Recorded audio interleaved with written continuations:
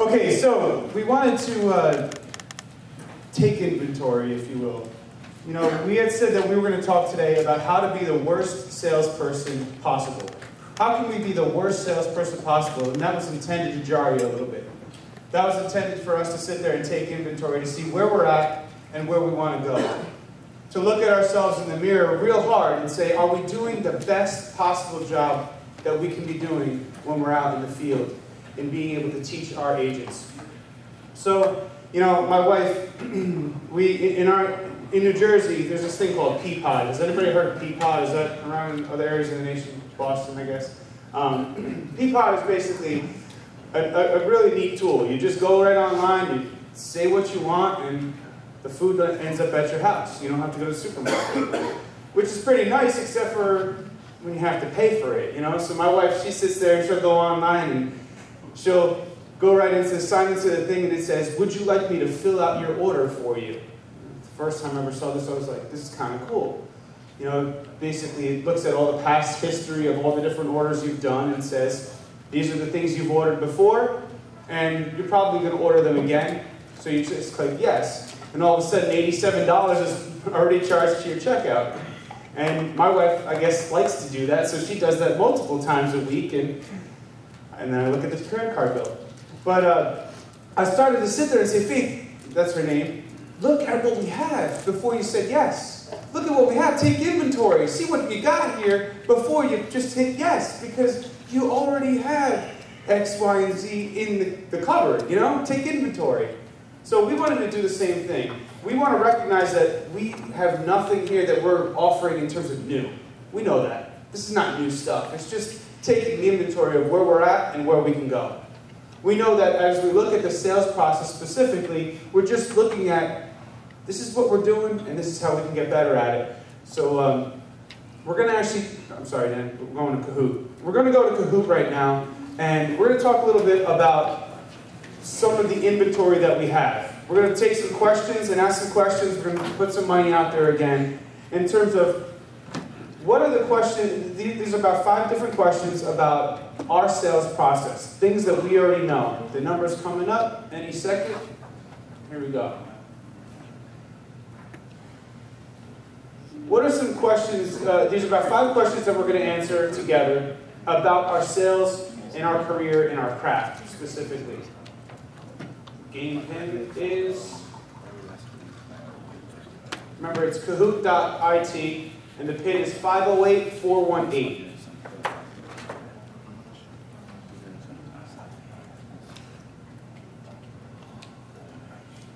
Five oh zero oh eight four one eight. So these questions are specifically in regards to our craft. And I call it a craft because it really is. You know, when you go into a, a doctor's office, you're going into a person's office that is a professional in their career. And we like to, and he has a craft, or she has a craft. Well, we consider that a craft for ourselves. We've got 30 seconds players in, and oh, we're up to 38. Anybody need to give it another minute, or should we go? Okay, let's go for it. Start now. So our first question, listen, you're going to get paid for these, so make sure you answer fast. As soon as it comes up, the more, the quicker you answer, the quicker you get a, uh, the more points you get. What was the median cost of a cremation with viewing in 2012? Was it A, $995? Was it B, $2,260, C, $3,250, or D, $5,410? Oh, 41 and 42. There were 42, so that's it. Okay, with eight seconds left, everybody's answered. And the answer is 3,250. We have 17 people. Now, these other numbers, congratulations to those of you who got it right, but these numbers specifically, notice they're, they're not fake numbers. The 995, anybody know what that number is? I'm sorry? The lowest for direct treatment. That's cremation, correct. Uh, direct cremation, 2,260. Anybody know that one? Cremation without the viewing. Without the viewing. 3,250 is with the viewing. And 5,410 is? I'm sorry? That was just there because I needed to throw another number there. All right, so number two, let's keep it going. That's how things look so far. Mr. Glanton, number one. I wish I could say it is, but I didn't. Oh, no, not Mr. Glanton. Do we have Scott right there? Yeah, the one. Excellent, good job. So he's in the lead. Number two. What was the median cost of a traditional burial with viewing in 2012? Was it A, 4,650, B, 7,045, C, 7,876, or D, 8,343?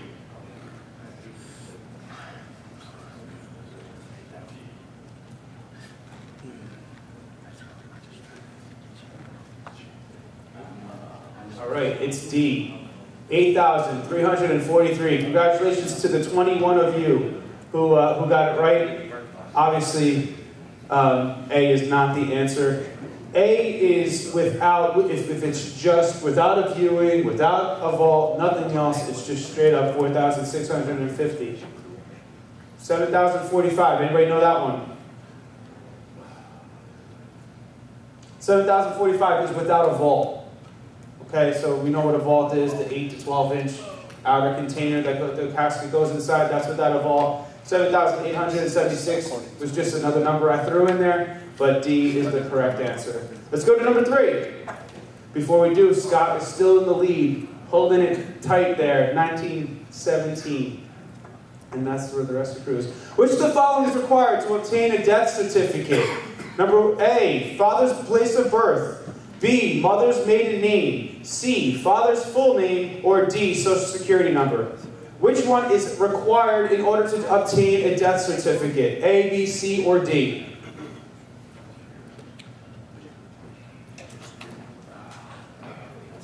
Got 42 in, and the answer is all of them. So everyone won. What's the one thing that's missing? Does anybody know what the five things that are required?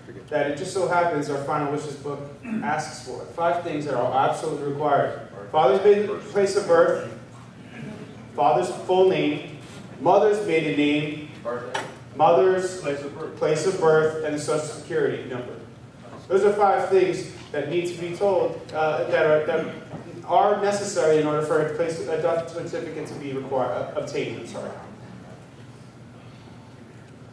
And Scott's still in the lead. C2C is getting close though. Next. What's the average cost of a casket? A. 1,095. B. 2,395. C. 2,795. D. 3,795. Average cost of a casket. We're in. Getting faster. Look at that. 13 seconds. 2,395 is the answer, which is where the majority went. That's good stuff.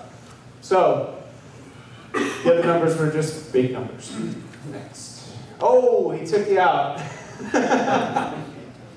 so who's C2C, our, our new leader? There you are. So uh, I think we have one more that are going to count towards the money, and then the last two are just going to be questions. I effectively communicate the emotional burden. So, oh, I'm sorry, this one doesn't count. You actually won. This is just for uh, a, uh, a survey here. I effectively communicate the emotional burden associated with one's passing 25% of the time, 50% of the time, 75% of the time, or 100% of the time. I effectively communicate the emotional burden. Would you say that you do it 25, 50, 75, or 100% of the time? Time's up. Two people didn't get in. But we have 22 people who say that they do it 100% of the time.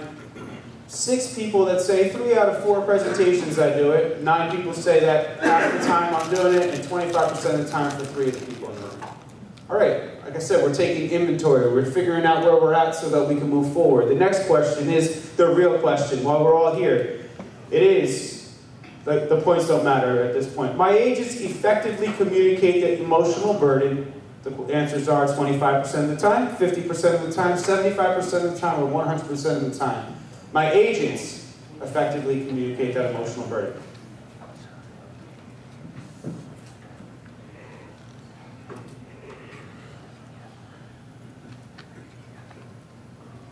Okay, see what we got. Obviously, all answers were available, and the numbers were not so significant when it comes down to what our agents are doing, which is kind of what we expected. Six of the people said 25, 13 said 50, 75% was 11, and 10 were 100. So we recognize that maybe we might be doing what we need to do in order to effectively communicate the emotional burden, but maybe our agents aren't doing it. And with that, I'd like to kind of share with you one other circumstance about a supermarket. I was walking down the supermarket the other day, and on the aisle, I needed a, a, a thing of toothpaste. And I sat there, and I, look, I go up to the toothpaste aisle, and I said, all right, well, which one should I get? Let me go with Crest. So I grab Crest. And I say, Crest, cavity protection, the regular paste. That's got to be the one that I need, right? I mean, oh, but hold up, wait a minute. Crest baking soda and peroxide whitening. Oh, this is a tough one. I got the regular paste or I got the baking soda with whitening paste. Which one am I going to do? Oh, maybe I can answer this by making things a little more difficult. Crest Complete, multi-benefit, extra white. That's where it's at. Extra whitening. That's the one I gotta go with. Oh, but this one's on sale. Gotta look at this one. Crest Tartar Protection Whitening. Oh, cool mint paste. That one's gonna make my mouth fresh. It's got the ADA symbol and everything. That's where I gotta go. Oh, but this one, look at this one. It's got a cool box, hologram and all that. 3D crest whitening. Brilliance. That's where it's at. I gotta choose this one instead. No, but if I do that, then I won't be able to get the crest complete. It's got the whitening, that's even small now, that's not as impressive, but it also has a deep clean. Yeah, multi-benefit complete. Maybe if I go with that one, I'll be the best teeth around. But look at Crest. They won't give up on this. They got a new option for me. Look at this. I could have a deep, cool mint flavor, or I could have that complete multi-benefit with some cinnamon in it. Some nice cinnamon. That's where it's at right there, cinnamon. Oh, but if I do that one, then I won't get 45% more. if I choose the other one, I got I gotta go with the 45% more because, you know, it's new and improved. I start there because we understand, like we said, we know the sales process. All of us are professionals. We just got a bunch of huge checks handed out to the room because we know how to sell, right? But we're going to talk about how we can further the sales process the same way Crest has. These guys came out with this stuff in 1950. They led a movement to basically say, hey guys, you got to brush your teeth twice a day. That was, that was Crest that did this, right? They were the ones that said, we're going we're gonna go to the government, we're to figure this out. And then every single day since then, they've been teaching us new ways. Guys, this is not the whole sales, uh, this, this, is not the whole aisle when you're in the supermarket of Crest. There were over 15. I just stopped at 25 bucks and said I can't spend any more on toothpaste. This doesn't make sense. But this is ridiculous. They said, look, we're going to be the top of, the, of our game. We're going to sit there, we're going to have a regular place, we're going to go there, yeah. But we're going to just keep going. And every single time, our clients are going to know that we got the best of the best. We're always going to be new and improved. They, they know that if there's going to be a new ingredient that's out there that'll get teeth whiter, get teeth cleaner, then they know they can trust in Crest. They got, I mean, after I started looking at this, I was like, man, these guys know what they're doing. Sorry. They know what they're doing. I'm going to stop that because that's just going to keep falling. But they know where they're going with this. They're not giving up. And they won't give up. They know that as long as we're a customer, as long as we can trust that they're going to do whatever's best for them, they'll keep investing. And yeah, you know what? Every time they invest, that new box might cost more money. That new box might be painful for them to get to, but they're going to figure it out. And I invite each of us to really look at it right now from a new and improved perspective for our sales presentation. We recognize that we might be effectively communicating the presentation in regards to our emotions uh, the emotional burden 100% of the time. But we also recognize that we might not be doing a great job of sharing that with our agents. And recently, over the last year, we've spent a great deal on focusing on how to do that. Um, you know, we in the Northeast, it's a different beast. I, I think we can understand that there's a lot of things that are different, but maybe not so much across the nation, right? We recognize that we can't sell insurance in New Jersey.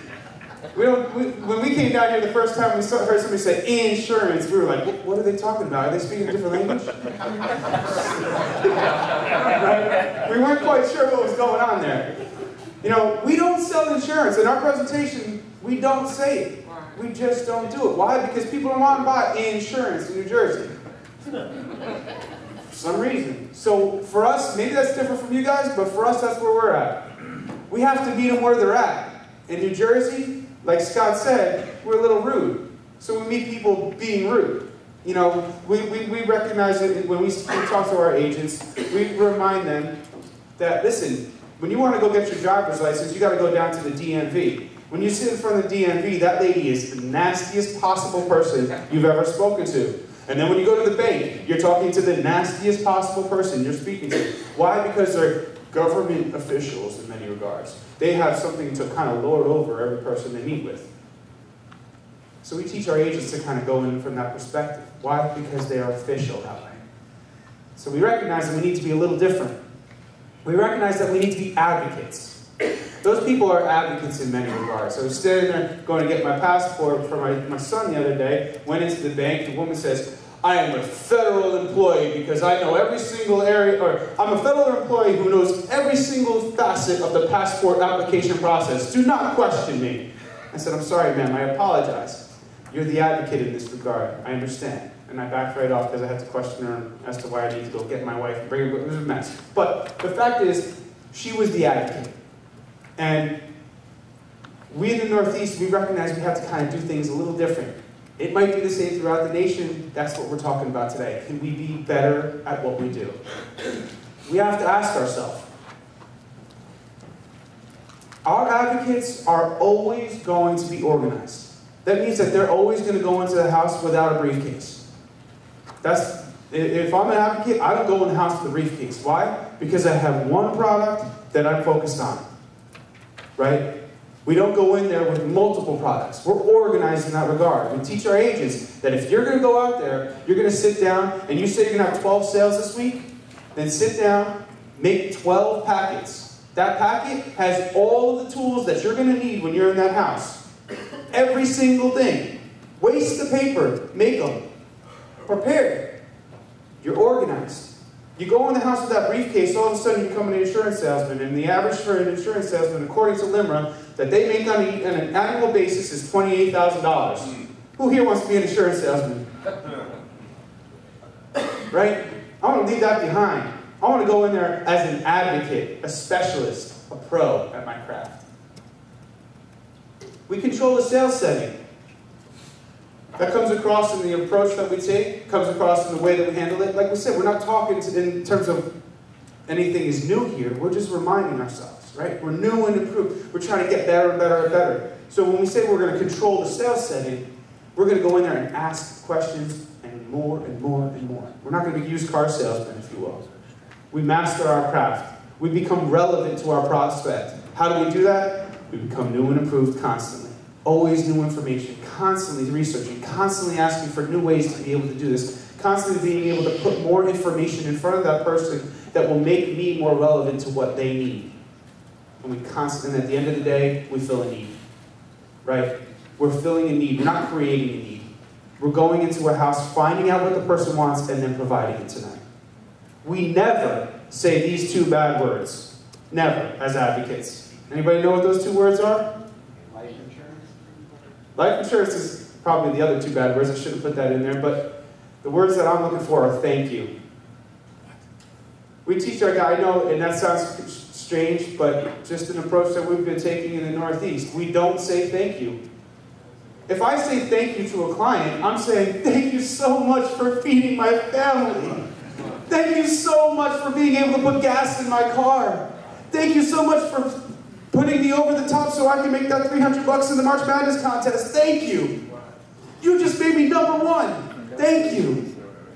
Versus letting, making it so that everything we do sets them up to say thank you to us. And when we're setting up appointments, we have, we do our presentation, I mean, our, our, our Monday morning sales appointments together in the same room, right? We get out there, you hear our guys talking. If somebody says thank you, another agent's walking over and says, what's wrong with you? Are you crazy? You, you, you know she, that person's no way that person's going to show up. You just said thank you. She knows you're going to come to close them now. Whereas when you set it up, you'll hear in our presentations on Monday on our, our appointment setting, uh, you'll hear, what are you talking about? You, you put your name, your date of birth, your phone number on that lead. You're the one that did that. You said that back to me. How dare you hang up on me? What kind of crazy person puts all that information on the card and then doesn't even want the person to come deliver it? You know, so we kind of we, we, we present ourselves differently as advocates. We're going out to deliver that information, and we're not thanking you for it. You're going to be thanking me for that. I did, I did what I had to do to deliver that information. We never deviate from our process as advocates, right? Salespeople, we kind of move all over the place. What, what do you want to buy for me today? I got annuities here. I got sum care here. I have whole term life, you know, whole life insurance here. I got term life insurance. Whatever you want, I'll give it to you. Whereas final expense specialists, we never deviate. We stay on a process and we don't change. We provide the need. We never appear to be selling in that way. We're always advocating on their behalf because we're doing what's best for them. And I know it sounds harsh the way I'm presenting it, but at the end of the day, we truly believe that this person does not want to face their mortality. This person would like to ignore their mortality in every shape, every way, shape, or form that they can. So if we can figure out ways to overcome that, to get them to face the fact that yes, we are going to die, and yes, when I die, I will leave a burden on someone, that's how we do it.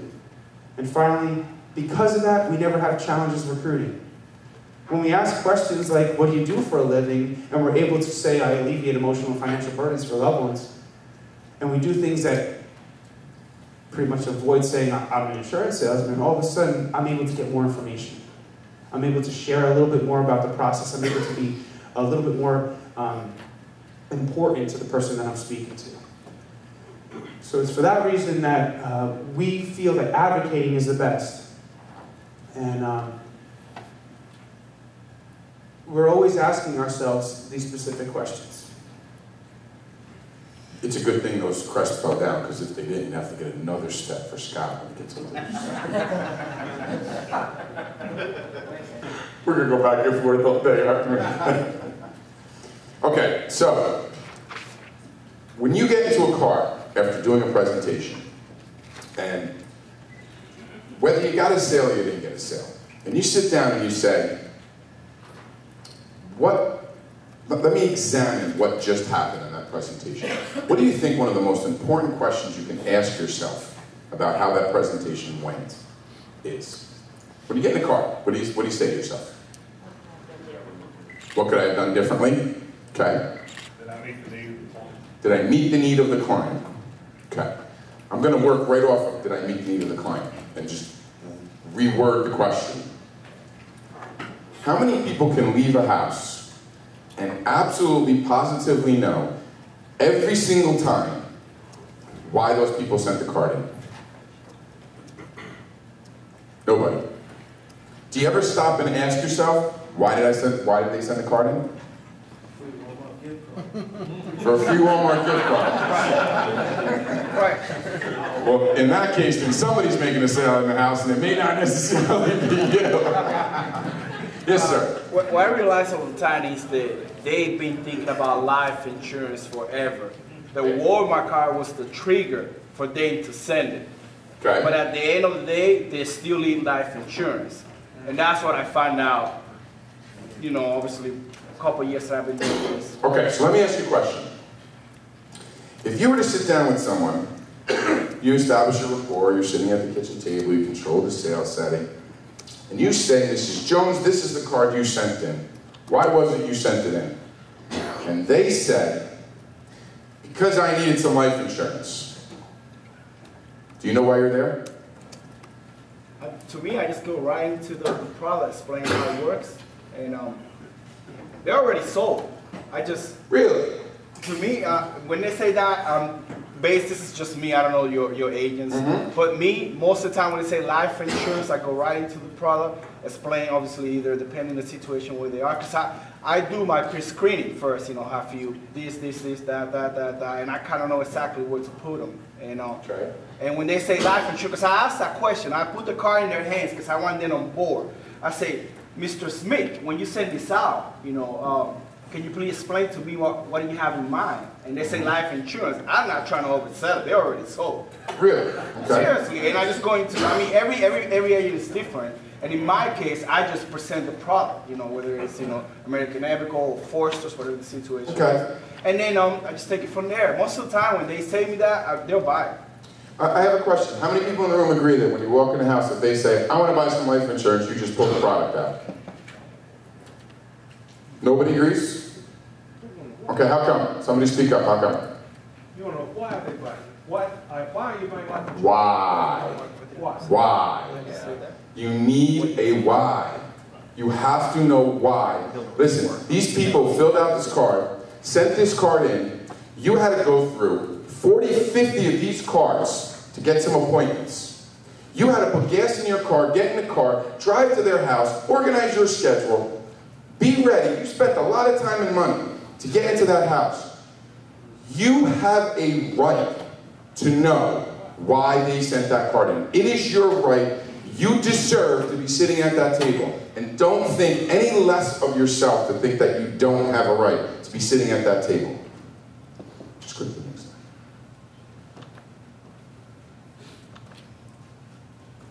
When we present, you say people sent it in, why, why did you send the card in? We give them three options. The three options we give them are to relieve the emotional burden associated with your passing, to relieve the financial burden associated with your passing, or to alleviate both. Now, there is a script, and, and for time purposes, we won't go into the script, and somebody wants to copy later, you know what, I am going to read through it. The people who've been able to help the most have been able to send, send this card in for one of three reasons. The first, because they recognize the emotional burden they will one day leave upon their loved ones. For most people, the day their parent dies is the hardest day of their life, not to be surpassed by the day after when they're sitting in the funeral home, forced to make tons of very difficult decisions in the midst of their tremendous grief. Someone who sends this card to alleviate the emotional burden is looking to spare their loved ones from this grief. The second reason is the financial burden that will be associated with their passing. As you know, all these decisions will require funding, and as the card you mail states, no one will be there to help us with that. In fact, Social Security, if you qualify, only pays 255 towards burial expenses. That's like putting a Band-Aid on an open heart surgery incision. Your son or daughter, Mary, will be forced to either pass the hat, place this burden on a credit card, and remember you plus interest every month, or possibly take from your grandchildren's college savings account. None of these are dignified, and some send this card in to alleviate the huge financial burden they'll be leaving on their loved ones. The final category are those people who realize they will be leaving both an emotional and a financial burden on their loved ones. Of these three categories, which is the reason you sent the card in? Now, yes, you're going to get the people that say I sent it in for Walmart. But you're not going to stop there. You need to find out, is it emotional, is it financial, or is it both? And when you get the answer, I sent the card in because I just wanted some more information. That's fantastic. About what? Why? Why, why, why, why, why? If you make a presentation without knowing why people sent the card in, you are absolutely positively wasting your time.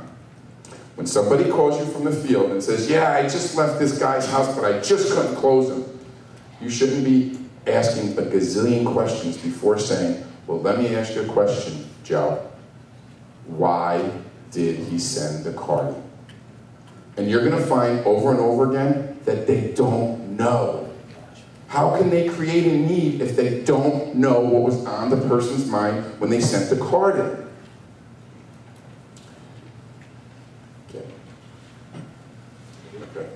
Not yet. Um, I want to I want to just tell kind of a quick quick personal story. Um, when I was in college, I was selling final expense, and um, it was kind of rough for me. It was sort of paying the bills a little bit, put me through college, but I never quite, I didn't get it. It wasn't clicking for me. And this was in 1996. I had an appointment with a lady in Paterson, New Jersey, and when I called her, she insisted that I come at 7.30 in the morning. I'm in college. 7.30 in the morning, I didn't know anybody did anything at 7.30 in the morning. But I did. Pulled up to this big Victorian house in Paterson, New Jersey, which is not, not a very nice area. Old house. Pouring rain, of course, just add drama to the story, but it really was happening. Went to the house, knocked on the door. She wasn't answering. I did have one of those big Motorola cell phones at the time. She wasn't answering. I called her, I said, Mrs. Jones, this is Anthony Rose. I'm here for our appointment. And her response to me was, it's too damn early.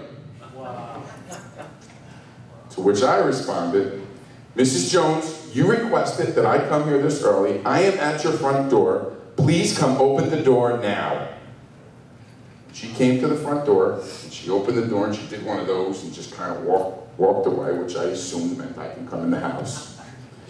And I walked into the house, huge living room in this, this, this big Victorian, and, and I'm not exaggerating. She sat on the couch and told me to sit on the couch probably as far as Scotty and I are away from each other.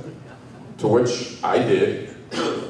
And I sat down and I said, Mrs. Jones, we used, we used a different three reasons. At, at that time it was, whatever, people send this card in either because they don't have any coverage, they have very little coverage, or they're losing their group coverage, is what we used to say. Said that, she said, how much is it? So well, I'm trying to find out what it is that you need. She said, don't worry about any of that. How much is it? And I kept trying, and I kept trying, and I kept pushing, and I was not a happy camper. And finally, I took my book and I slammed it shut, and I said, I'm very sorry, I can't help you. And I started walking towards the door. She said, no, no, don't do that. Exact words, never forget. Said, I'm sorry, I'm trying to help you, but if you don't tell me what it is you need, I don't know how I can help you, and I don't even know if you're gonna qualify. And her response was, my grandson was incarcerated last night. I've been up all night. Please let me get a cup of coffee, and then we'll sit down and we'll talk. Okay, that'll work. Let's go into the kitchen and do that. And it ended up being one of the biggest sales I ever had. And this is back in 1996. I still remember to the day, and it clicked for me. It suddenly clicked. If you don't know why you're there, you're wasting your time. Find out why people mailed this card in. Is Bill Cole here? He is not. All right, well, um, even though Bill isn't, isn't here, I still just want to, we, we do leads, obviously some things have changed. We do leads on paper, some people, some people use, use electronics only.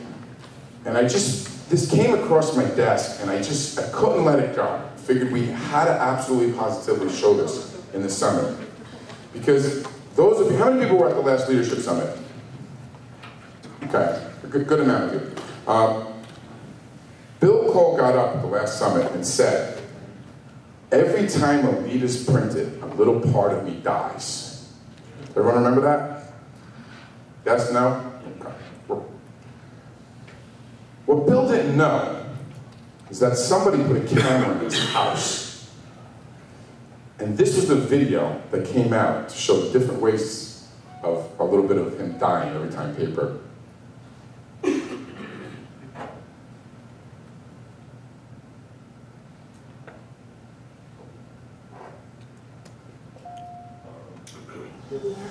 Emma.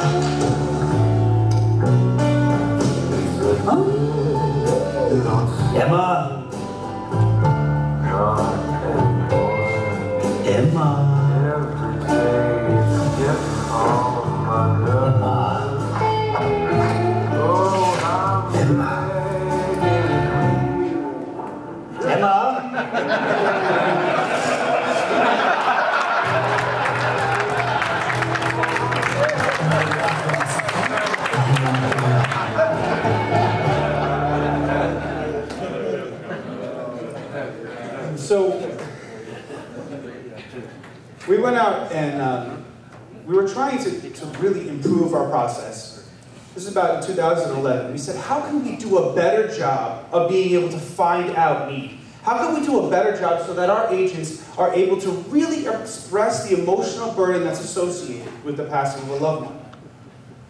And we paid a few hundred thousand dollars, or much more than we really wanted to spend. At the end of the day, everyone kind of cringes when we even think about this. But this, we had an outside research firm ask thousands and thousands of seniors, what keeps you up at night?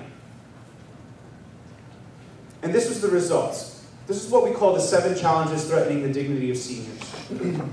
what we thought was if we can ask people and show ourselves that we are, show them that we're truly advocating on their behalf, when we go into the home, we're no longer creating a need.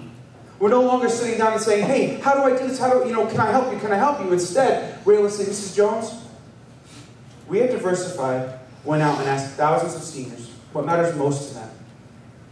And the results were staggering. They came back to us with seven things that were shared overall. Now, Mrs. Jones, I'm going to go through these lists with you very quickly, but I want you to know at the end of the day, you're not alone. The first concern that these seniors were, were staying up at night was because of financial hardship. They were asking themselves, how will I make ends meet? The second, they were saying, well, I'm afraid of fraudulent activity. Can I trust anyone? Third was health risks. How do I stay healthy? Fourth, what will I do with him or her if he passes away? Right? The loss of a spouse. What's going to happen when he's gone or she's gone? Fifth was the loss of independence. Will I even be able to drive still? Sixth was what emotional decisions must be made in the event of my, my husband's passing or my passing or my wife's passing. And seventh was how will I financially pay for all of this? Mrs. Jones, you're not alone. These concerns that you are concerned about, the reason why you sent this card back to us, the reason why I'm delivering this information to you right now, is shared by these other thousands of people. Now, I'm not going to be able to help you with all these things, Mrs. Jones, and I apologize for that. But let me see if we can help you with this last six and seven, of which you, you said you want to alleviate both the emotional and financial burden. What we found in the results of this, this pamphlet that we put, that, put out that cost us way too much money, is that agents were able to go in there not as agents any longer. Now they're advocates. Now when they sit down, they truly are an advocate seeking to help a person instead of just sitting back seeking to go and, and truly be a, a, an aid to them instead of selling them. And this was coupled with the next step that Anthony's going to speak to. How many people are using the Final Wishes Guide right now? I'm sorry, keep your hands up one second. Wow, that's nice. Okay. Um, oh, the first thing you have to do is get your client's attention. Wearing a tie like that is absolutely not the way to do it. I guess it depends, you have to know your audience. So, a lot less people are using, using this than, than I thought.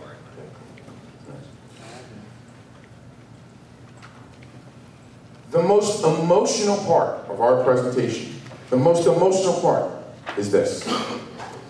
When we get to this part right here, we are setting the stage that the financial part, today we're not even going to discuss the financial part. We're only going to show you how we feel the emotional need. But the most emotional part is established right here. You will get more facts than you can imagine, and it should be teed up for you like you can't believe, utilizing this. So, when you get to this, you have two questions. Number one, have you ever had the unfortunate experience of arranging a funeral? If they say yes, where do you go? What do you do if they say yes? How much did it cost? I'm sorry? How much did it cost? How much did it cost? What else? Who died? Where? How long ago? How'd that make you feel? Do you remember? Do you remember? Were you prepared? Were you prepared? Bottom line is all of you just threw out questions. And that's what it is. It's questions. Ask as many questions as you could. You have to say, if you had died yesterday, Mrs. Jones, who would be running around today like a chicken with their head cut off, trying to figure out your arrangements? Who would be doing? Oh, your daughter Mary? Mrs. Jones, I have to ask you a question. You told me that your husband passed away and it was three years ago. When your husband passed away, did you know what he wanted? Do you remember, Mrs. Jones, when you walked down to the funeral home on one of the most emotional days of your life? and you sat down with that funeral director, and that funeral director probably asked you 150 questions? Do you remember this? And sometimes they'll say yeah, sometimes they'll say no. And when they say no, you just erupt. Of course you don't remember. It was one of the most emotional days of your life. And then you have to say, which funeral home was it that you used? You used Smith and West, Smith and Weston Funeral Home?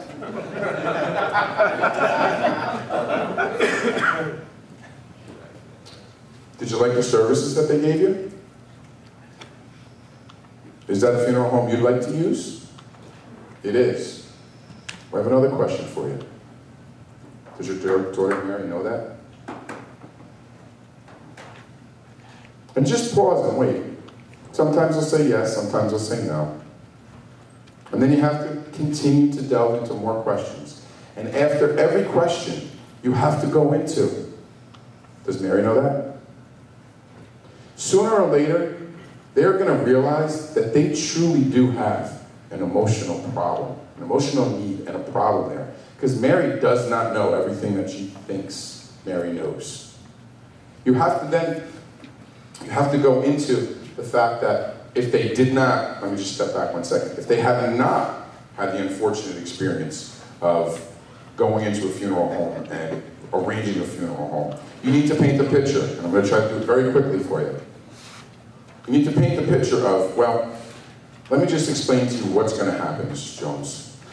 On one of the most emotional days of your life, of, of your daughter Mary's life, after you pass, she's going to have to get herself together. She's going to have to go down to the funeral home.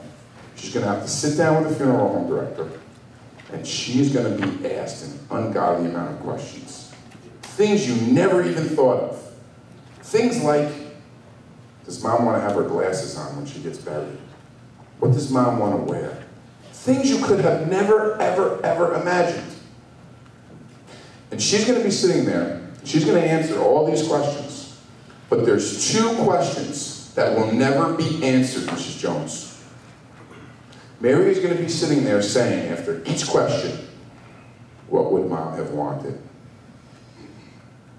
Over and over. Would mom have wanted this? Would mom have wanted that? And then after going through this grueling couple of hours, she's going to walk out of the funeral home. She's going to walk down a couple of steps. She's going to say, did I make the right decisions? And unfortunately, Mrs. Jones, Mary does not know those answers. She's never going to know those answers. This is the scenario that you paint so that they understand this is a very emotional time. You're going to go through this Final Wishes book. Those of you who are not utilizing it, we don't have the time to go through this right now, but there are some things in here. You, you have to paint, point out the things that are needed for a death certificate. You have got to point out the fact that they can write down any insurance policies that they might have. Do your fact finding here. You could, you could, you could put in here, do you have any debilitating health conditions that your children or your grandchildren may need to know about later on in life when they're answering medical questions?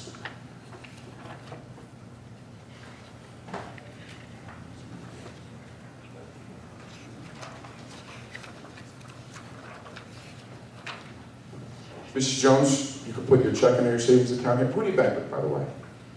I bank with PNC Bank. That's great, we work with them. You can put your checking or your savings account information here. Do some fact finding over and over and over again. This thing is absolutely amazing. You've got to use this as often as you possibly could. It's absolutely amazing. One other little tidbit.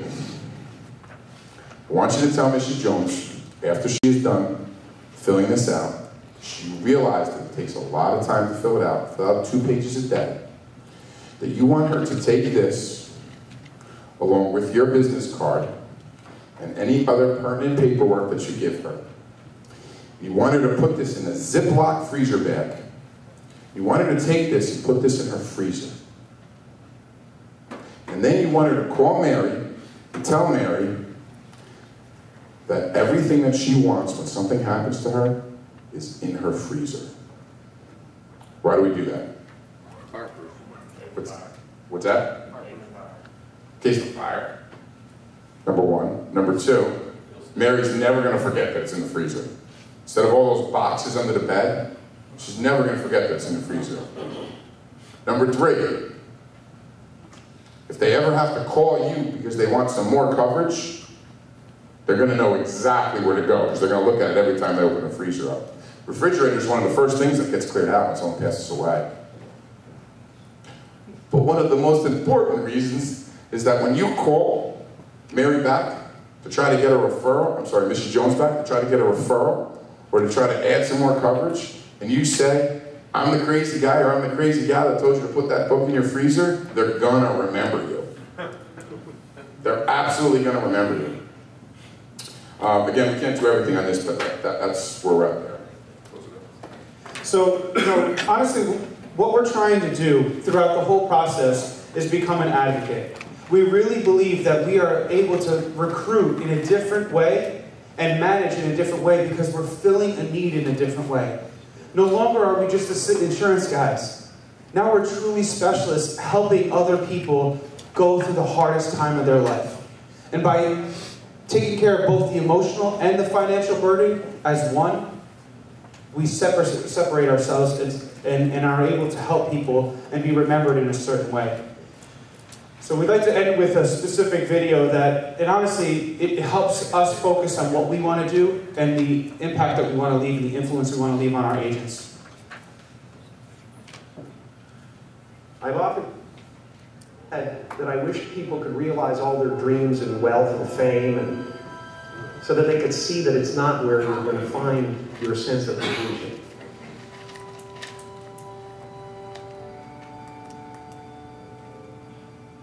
I can tell. At the end of the day, look, we know we are speaking to the best agents in the nation.